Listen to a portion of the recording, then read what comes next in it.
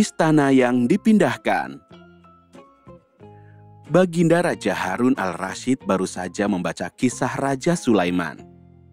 Raja Sulaiman sangat hebat. Ia mampu memerintahkan para jin untuk memindahkan istana Ratu Bilqis ke dekat istananya. Raja Harun al-Rashid ingin istananya dipindahkan ke atas bukit agar ia dapat leluasa memandang negerinya.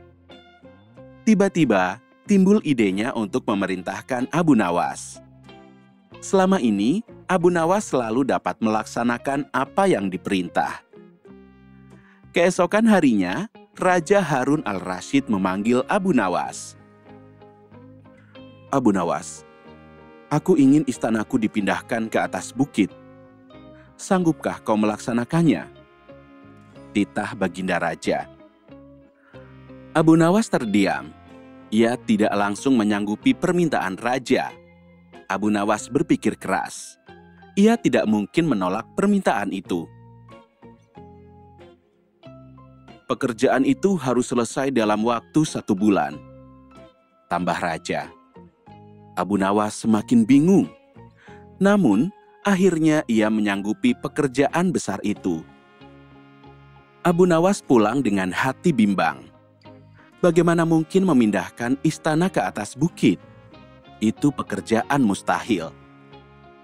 Semenjak mendapat perintah itu, Abu Nawas berubah menjadi pendiam. Setiap malam kerjanya hanya melamun di bawah rembulan dan bintang-bintang. Setiap saat ia selalu gundah. Hari-hari ini menjadi hari yang berat baginya. Anehnya, pada hari ke-9, Abu Nawas sudah tidak merasa bingung. Dengan tenang, Abu Nawas datang menghadap Baginda Raja Harun al-Rashid untuk membicarakan pemindahan istana. Raja Harun al-Rashid menerima Abu Nawas dengan senang hati.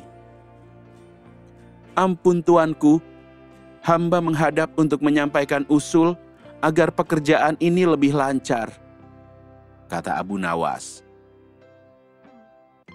Apa usulmu? Tanya raja hamba akan memindahkan istana ini tepat pada hari raya Idul Adha. Sahut Abu Nawas. Ya, aku menerima usulmu. Kata raja mengangguk-angguk. Satu hal lagi Paduka, Abu Nawas menambahkan. Apa itu? Tanya Baginda Raja. Hamba mohon nanti Baginda menyembelih sepuluh ekor sapi yang gemuk lalu langsung dibagikan kepada orang miskin. Ujar Abu Nawas. Ya, aku setuju. Sahut Raja. Abu Nawas berseri-seri. Ia pulang dengan hati gembira. Kini, tak ada lagi yang perlu dikhawatirkan. Nanti kalau waktunya tiba, dengan mudahnya ia akan memindahkan istana Raja Harun al-Rashid. Jangankan memindahkan ke atas bukit, memindahkan istana itu ke dasar samudera pun Abu Nawas sanggup. Kabar tentang perintah untuk memindahkan istana telah tersebar ke seluruh pelosok negeri. Semua orang berharap-harap cemas. Sebagian besar rakyat yakin Abu Nawas dapat melaksanakan tugas itu. Sebab selama ini Abu Nawas selalu bisa menjalankan tugas aneh yang diberikan oleh Raja Harun al-Rashid. Tapi ada juga yang meragukan kemampuan Abu Nawas kali ini, sebab tugas memindahkan istana itu sangat berat. Akhirnya, tibalah saat yang dinanti-nanti. Rakyat berbondong-bondong menuju lapangan untuk melaksanakan salat hari raya Idul Kurban.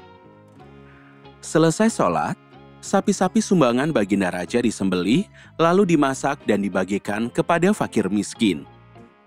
Setelah semua selesai, rakyat berdebar-debar menanti Abu Nawas melaksanakan tugasnya. Abu Nawas berjalan menuju istana. Rakyat mengikuti di belakangnya. Sesampainya di istana, Abu Nawas menghadap Baginda Raja Harun al-Rashid. Ampun tuanku, hamba akan memindahkan istana ini. Apakah istana ini sudah kosong tak ada orangnya? Tanya Abu Nawas. Tidak ada, sudah kosong. Sahut Baginda Raja singkat. Abu Nawas berjalan beberapa langkah mendekati istana. Ia berdiri sambil memandang istana. Ia diam saja, seolah-olah menunggu sesuatu. Abu Nawas, mengapa kau belum juga mengangkat istanaku? Tanya Baginda Raja tak sabar.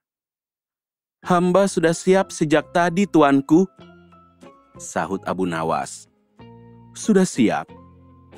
Kalau kau sudah siap, apa yang kau tunggu?